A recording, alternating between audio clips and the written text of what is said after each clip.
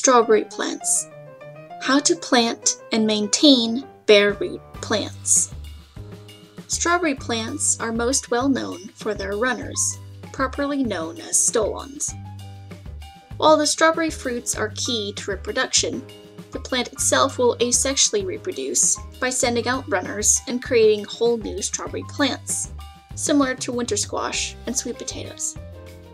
This asexual reproduction is far easier and more reliable for propagating strawberry plants than sexual reproduction for many reasons, one of which being the ease of planting.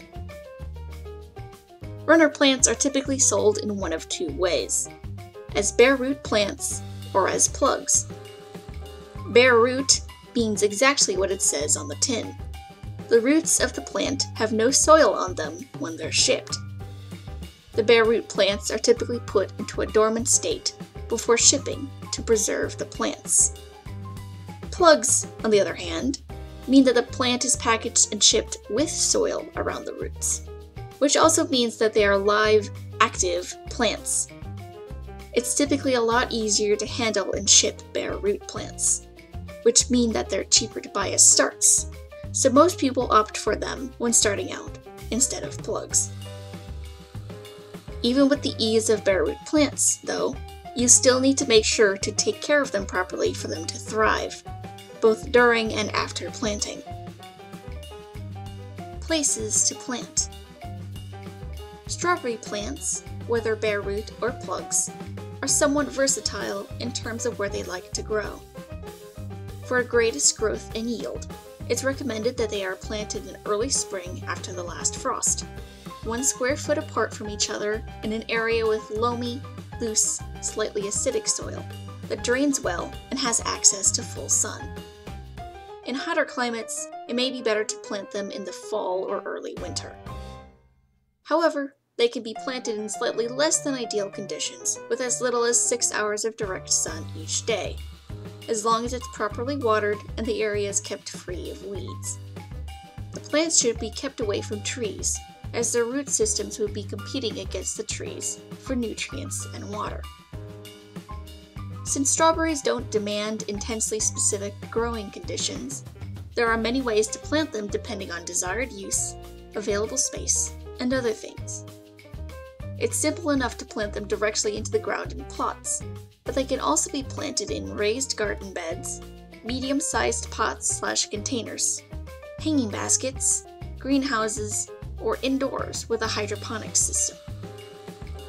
Raised garden beds are suitable for locations where natural soil drainage and surface drainage aren't ideal. The soil depths should be 1 foot or higher, as strawberries prefer having 10 to 12 inches of root zone, and the beds placed in full or near sun. Pots and hanging baskets are similar in function and requirements to raised garden beds, but more compact and portable. Potted strawberries can be moved indoors if needed, providing an excellent way to regulate plant temperature and overwintering.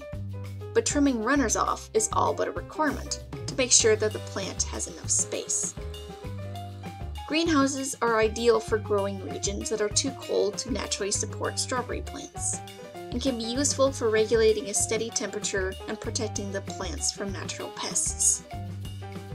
The greenhouse should be kept above 60 degrees Fahrenheit, 15 degrees Celsius, and the plants open to as much sunlight as possible while fruiting. A hydroponic system can allow for faster, cleaner harvests of strawberries, as well as getting rid of all soil pests and most airborne pests in an indoor system. But the initial setup of a hydroponic system is complicated and expensive, and regulating the nutrient solution of the system is more difficult than working with soil. It's considered to be a more challenging way of growing plants of all kinds, not just strawberries. Depending on the condition of your soil, you may need to mix fertilizer and or compost into it before planting. A general rule of thumb I personally follow, though, is that the simpler your planting area, the better. Anatomy of a bare root strawberry plant. Strawberry plants are going to look the same whether as bare roots or plugs, because the only difference between the two is if they have soil around the roots or not. There are three main parts to the plant the top slash leaves, the crown, and the roots. The top of the plant is where the leaves will emerge and grow after planting. When receiving bare root plants, there may or may not be leaves on them, and if there are, they may either be brown and wilted or small and green. It just depends on storage conditions, shipping, and dormancy temperature from the provider. As long as there's no mold or visible rot, they should be fine for planting. The crown of the plant is the woody middle section where the leafy growth transitions into roots. It is the main part of the plant as a whole, and it is important to make sure it isn't damaged or rotting. When planting, you want to make sure the top two thirds of the crown is above ground, as it's where new growth will occur.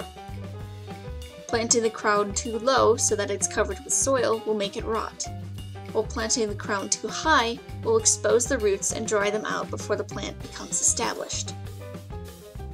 The roots of the plant are, well, the roots of the plant. They should be long, lightly moist, and hair-like in appearance and should be flexible yet strong while handling them. They can be pruned before planting if they seem excessively long to prevent J-root, where the roots could be accidentally looped upwards in the planting hole. Make sure to identify where the crown is on each strawberry plant before planting them. It can be difficult to find it on smaller bare root plants, especially if it's all in various shades of brown but the woody part should be distinguishable from the roots and the leaves by touch. How to plant bare root strawberries. When you buy or order bare root strawberry plants from somewhere like a nursery, they're going to look like a tangled, ugly mess of roots and seemingly dead plant matter. Don't worry, that's what they're supposed to look like, as they're shipped as dormant plants. If you can't plant them right away, you could store them in a cool environment like a cellar, garage, or refrigerator for up to a week to keep them dormant. Make sure that the plants are loose, if they arrived tied up in a rubber band, and to keep the roots moist on a regular basis. Sort out any moldy or rotten plants before storing to prevent the whole batch from molding. It's recommended that you plant them as soon as you get them, though, as it's very easy for them to either dry out or rot while in storage. Once you're ready to plant, 1. Gently pull apart the plants from the bundle without breaking any of the roots. This may take a while depending on how tangled the root ball is, but with enough patience they should all separate out. Spritzing the roots with water to moisten them may help them separate. 2. If the roots seem a little dry, Soak them for a few minutes to an hour in warm water. Make sure that you're only soaking the roots and not anything else to prevent the rest of the plant from rotting. Adding diluted kelp or fish emulsion to the water gives the roots an extra nutrient boost when planting, but it's entirely optional. Don't soak the roots for more than two hours. 3. Prepare your planting areas. The soil should be nice and loose for planting, Dig 6 inch deep holes for each plant. If you're planting in a plot or in a raised garden bed, plant them at least 12 inches apart from each other in 18 to 24 inch wide rows. 4. Fan out the roots of each plant as you place them in the holes, and fill in the holes up to the crown of the plant. The crown should be mostly exposed above the soil. 5. Lightly press the soil down around the plants and thoroughly water them in at ground level. You can give them a little bit of non-chemical fertilizer, like fish emulsion, to boost their initial growth, especially if the soil is lacking in nutrients, but it isn't typically required. 6. If planting early in colder temperatures, place a layer of mulch on top of the plants to retain heat and moisture. Remove the mulch once temperatures become suitable for normal growth. When to plant bare root strawberries. Strawberries are primarily a spring through summer plant, meaning that you ought to plant them during early spring and let them grow throughout the summer. Depending on the variety, some strawberries may prefer to be planted as soon as the last frost passes, while others may prefer the early summer mark. In general, 50 degrees Fahrenheit, 10 degrees Celsius, to 80 degrees Fahrenheit, 25 degrees Celsius, is the ideal temperature to plant strawberries. Anything above 85 degrees Fahrenheit, 30 degrees Celsius, or below 30 degrees Fahrenheit, negative 1 degrees Celsius, damages the plants. The growing zone you're in is the biggest factor in when to plant your strawberries, however. For northern climes, spring planting is best, while southern climes usually prefer autumn or even early winter planting.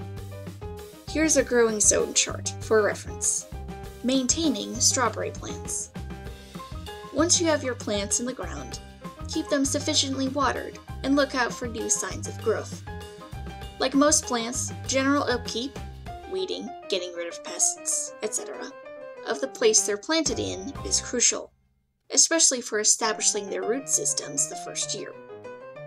For all types of strawberries, it's recommended to prune the first year's flowers and runners to produce stronger, bigger berries the following year. With June bearing varieties, you can skip pruning the runners. If you're serious about making quality strawberries and don't mind a bit of waiting, it's best to prune the plants.